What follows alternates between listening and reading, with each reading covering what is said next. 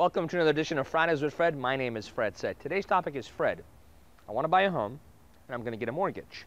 If I pay off any of my debt, A, will that help me and how will that help me?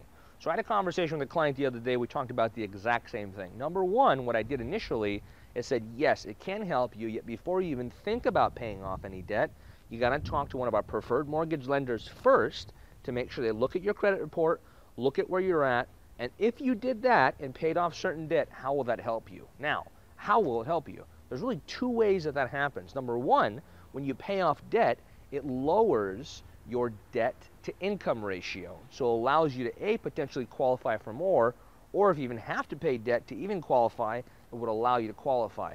Number two, what it does is when you pay down debt, simultaneously your lender will do what's called a rapid rescore, and that bumps your FICO score from whatever it is at that moment before paying the debt to a higher rate after you pay down the debt within a matter of five days.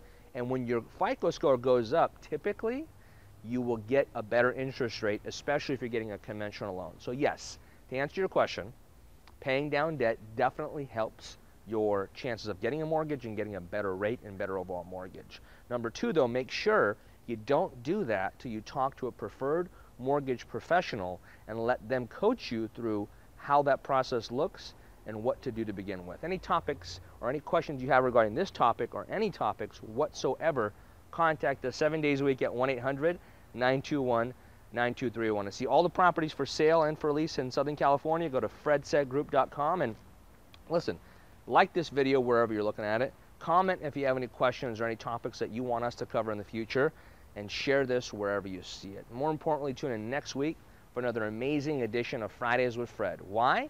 Because that's what Fred said.